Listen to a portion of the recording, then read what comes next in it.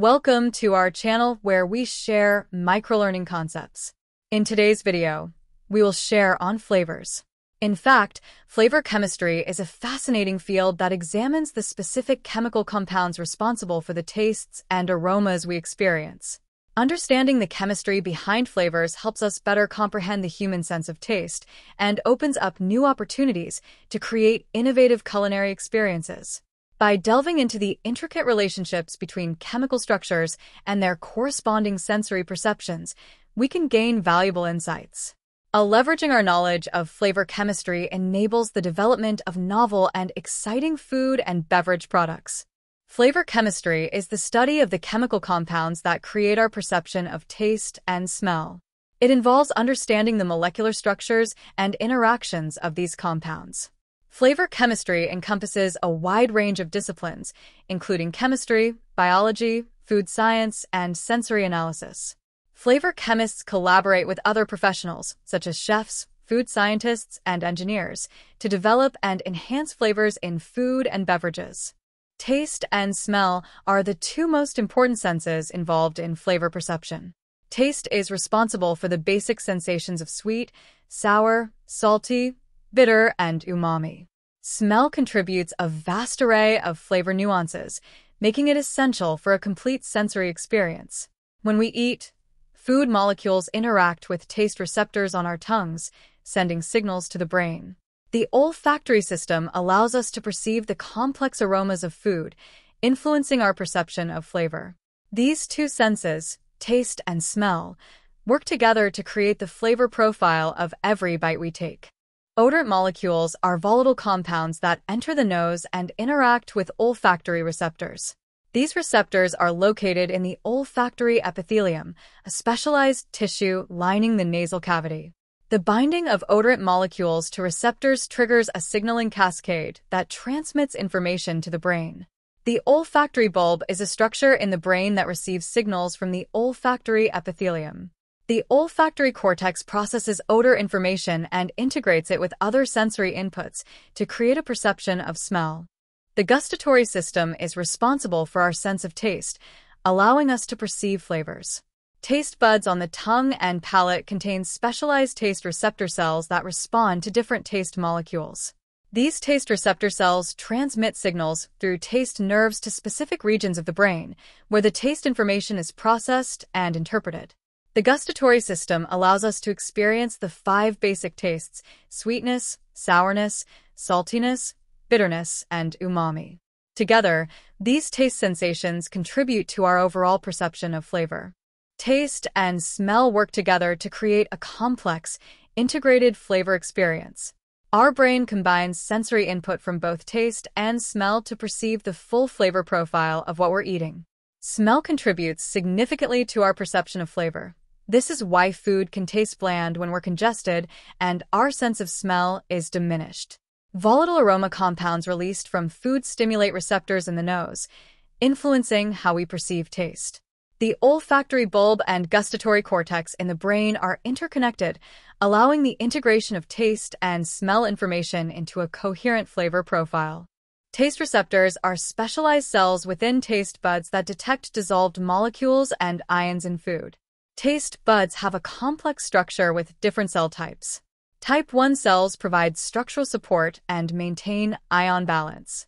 Type 2 cells express receptors for sweet, bitter, and umami tastes. Type 3 cells are presynaptic and release neurotransmitters when activated. The illustration shows the detailed anatomy of a taste bud and the gustatory pathway from the tongue to the brain.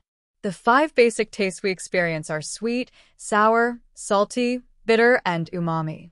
Sweetness is associated with sugars and provides a pleasurable, rewarding sensation. Sourness is linked to acids and provides a fresh, tangy taste.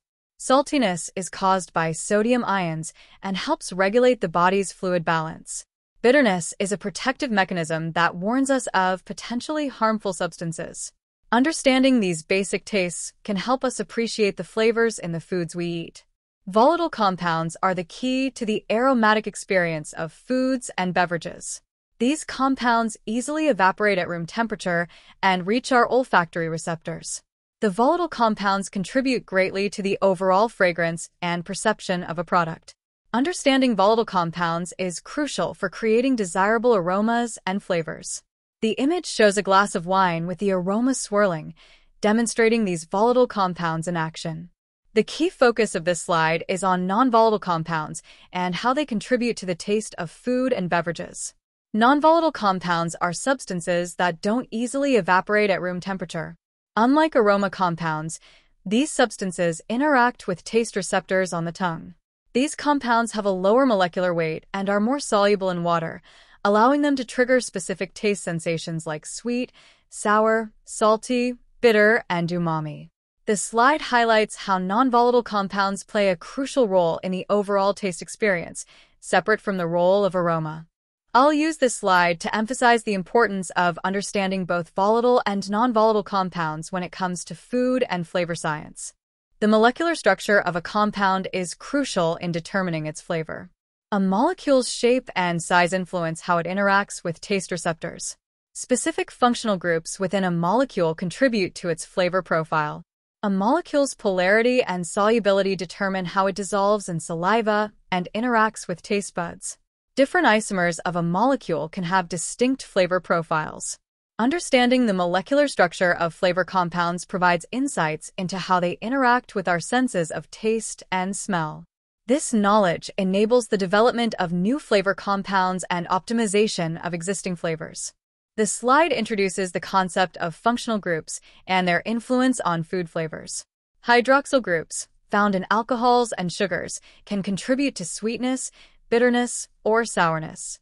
Carbonyl groups, present in aldehydes and ketones, play a significant role in aroma and can impart fruity, floral, or spicy notes. Carboxylic acid groups, like those found in citric acid, impart sourness and tanginess to foods. Amine groups, present in amino acids, contribute to savory, umami, or meaty flavors. Understanding these functional groups and their flavor impacts can help us create more nuanced and delightful food experiences. Polarity is an important concept in understanding flavor and how it's released. Polar molecules like water have an uneven charge distribution, which allows them to attract and dissolve other polar compounds. This enhances the solubility and release of polar flavor compounds. Solubility is also key. Similar substances dissolve each other. Polar flavor compounds will dissolve in polar solvents like water, while nonpolar compounds will dissolve in nonpolar solvents like oil. Understanding polarity helps us extract different flavor compounds by using the right solvents. Extracting polar and nonpolar compounds contributes to the overall taste profile of a food or beverage. Enantiomers are molecules that are mirror images of each other, but have slightly different shapes. This difference in shape allows them to interact differently with taste receptors on the tongue and smell receptors in the nose. Even though enantiomers have the same chemical formula, they can have very distinct properties like taste and odor. A classic example is carvone, where one enantiomer smells like caraway seeds and the other like spearmint. This highlights how important chirality, or the spatial arrangement of atoms, is for flavor perception. Our senses of taste and smell are highly sensitive to the 3D structure of molecules.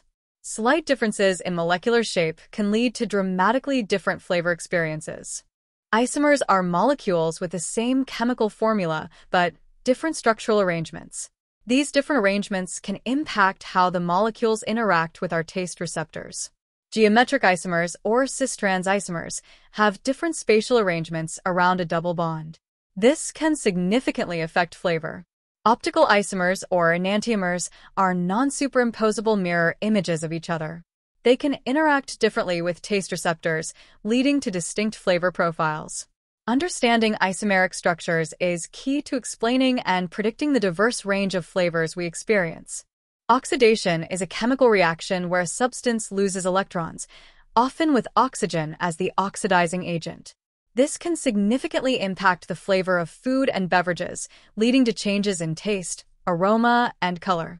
Oxidation can create desirable flavors, like in aged cheeses and cured meats, but it can also lead to undesirable flavors, such as rancidity in fats and oils.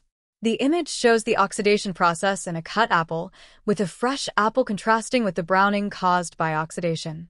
Enzymatic reactions play a crucial role in shaping the flavor of foods and beverages. Hydrolysis breaks down complex molecules into simpler, more flavorful compounds. Oxidation catalyzed by enzymes can lead to the development of new flavors or the loss of existing ones. Esterification creates esters that contribute to fruity and floral aromas, often during fruit ripening and fermentation. The Maillard reaction is a chemical process that occurs when reducing sugars and amino acids interact, especially at high temperatures during cooking or baking. This reaction creates a wide range of flavor molecules, leading to the characteristic flavors and browning of foods like meat, bread, and coffee. The Maillard reaction can generate a diverse spectrum of flavor notes, including caramel, nutty, meaty, and savory, depending on the specific ingredients and cooking conditions. Understanding this reaction is important for chefs and food scientists to control and enhance the flavors of cooked foods. Caramelization is a chemical process that occurs when sugars are heated to high temperatures. This results in a complex mixture of flavor compounds with a rich, sweet, and slightly bitter profile. The process involves three key stages. Dehydration. Sugars lose water molecules. Formation of caramelins. Sugars undergo rearrangement and polymerization. Formation of caramelins. Further browning and development of bitter notes. Caramelization is commonly used in cooking and baking to enhance the flavor of desserts, sauces, and other dishes. Fermentation is a key process in food production, involving microbes like yeast, bacteria, and fungi. These microbes break down organic compounds, leading to the formation of new flavor compounds. This includes acids, esters, aldehydes, and ketones that contribute to the unique flavor profiles of fermented foods. Examples of fermented foods with distinctive flavors include sourdough bread, cheese, yogurt, and beer. The microbial activity and chemical changes during fermentation are what give these foods their signature tastes. Cinnamon is a popular spice that derives its warm, sweet, and slightly spicy flavor from a compound called cinnamaldehyde. Ginger has a pungent, warming, and slightly citrusy taste due to compounds like gingerol and shogaol. Cloves have a strong, warm, and slightly bitter flavor, primarily from the volatile oil eugenol. Rosemary's pungent, earthy, and slightly bitter taste comes from its high concentration of volatile oils like cineole and camphor. These spices and herbs all contain unique flavor compounds that contribute to their distinct aromas and tastes. Fruits and vegetables contain a variety of flavor compounds that contribute to their unique tastes. Sweetness is primarily due to fructose, the main sugar in fruits, along with other sugars like glucose and sucrose. The concentration of these sugars determines the sweetness level. Acidity from organic acids like citric acid and malic acid adds tartness and balances the sweetness. The acidity level varies between different fruits and vegetables. Volatile compounds like esters and terpenes create the characteristic aromas, like banana, strawberry, and pineapple. The interaction of these aroma compounds results in a complex flavor profile. Other compounds like bitter flavonoids and pungent allicin add further complexity and depth to the overall taste. Milk is the foundation of many dairy products, containing lactose, fatty acids, and minerals that contribute to its sweet, creamy flavor. Cheese flavor develops during aging through bacterial fermentation and enzymatic reactions, which break down proteins and fats to create complex flavors. Yogurt flavor is influenced by the type of bacteria used during fermentation, resulting in a range of flavors from tangy and tart to mild and creamy. Butter is primarily composed of fat, and the processing it undergoes releases flavor compounds that contribute to its rich, buttery, and slightly sweet taste. Meats have a rich, complex flavor profile due to a variety of compounds like amino acids, peptides, and nucleotides that create savory, umami notes. The fatty acids in meats also contribute to the overall mouthfeel and aroma. Seafood, on the other hand, has its own unique set of flavor compounds, including volatile amines and aldehydes. These seafood-specific compounds give fish and other seafood their characteristic fishy, salty, and briny flavors.